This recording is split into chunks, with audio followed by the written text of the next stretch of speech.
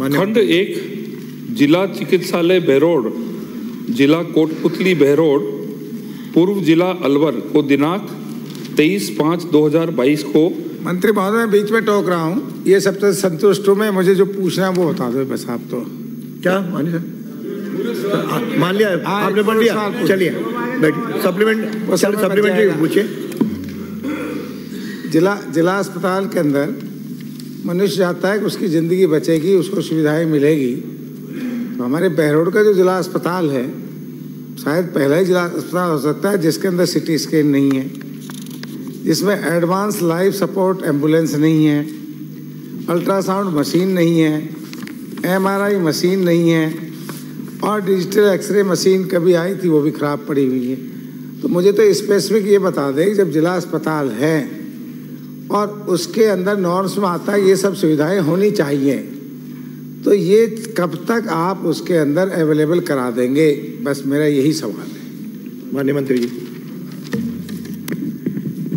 माननीय अध्यक्ष महोदय, जो क्वेश्चन मेरे सामने आया था, उसमें मान्य सदस्य ने बेसिकली स्टाफिंग क्या है फैसिलिटीज़ क्या है, पर आप कह रहे कि उसको बैरोड के बारे में हाँ बैरोड के बारे में उसको स्किप कर देता हूँ सर। उत्तर सुनिए हाँ। सर इसमें ऐसा है अध्यक्ष महोदय कि बैरोड जो है हॉस्पिटल सीएचसी था।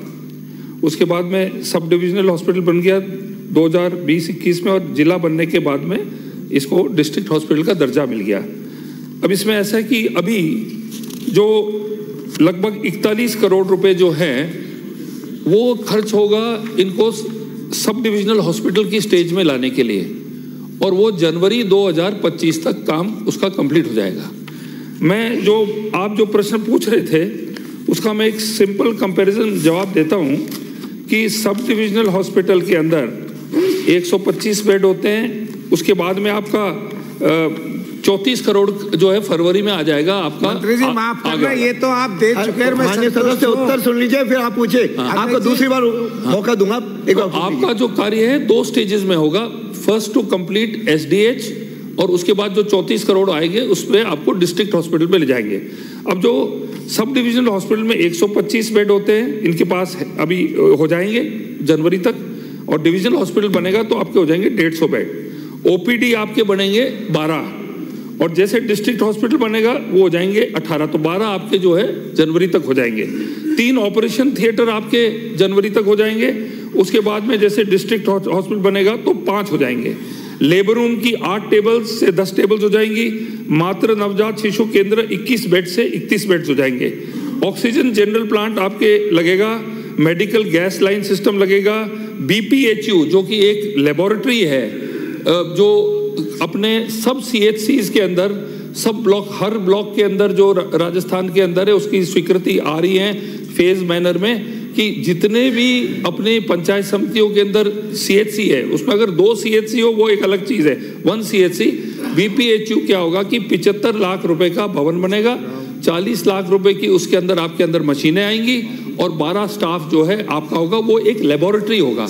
अल्ट्रासाउंड, ब्लड टेस्ट आपका सीटी स्कैन एक्सरे ये सब होगा। तो आपका बीपीएचयू बनेगा, पर जैसे ही आपका डिस्ट्रिक्ट हॉस्पिटल बनेगा, ये आईपीएचएल बन जाएगा। जो हर डिस्ट्रिक्ट हेडक्वार्टर के, वो एक बहुत बड़ी लेबोरेटरी बन रही है, वो सब जिलों में मिलेगी आपके।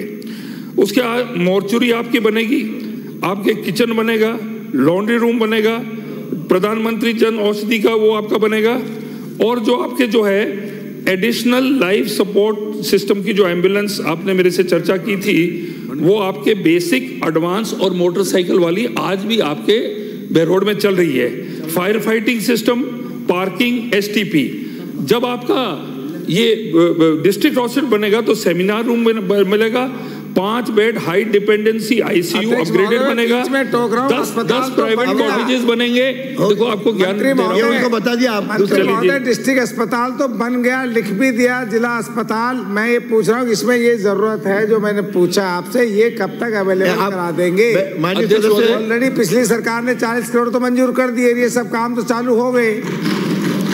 माननीय सदस्य इसमें आप जो मैंने पूछा आपसे कि ये CT scan ultrasound life support ambulance ये सब ज़रूरी है जिला अस्पताल के अंदर। एमआरआई मशीन डिजिटल एक्सरे ये कब तक अवेलेबल करा देंगे? ये सवाल है मेरा स्पेसिफिक माननीय अध्यक्ष महोदय माननीय मैं माननीय सदस्य को यही बता रहा था कि सब डिवीज़न हॉस्पिटल इनका जनवरी में कंप्लीट होगा।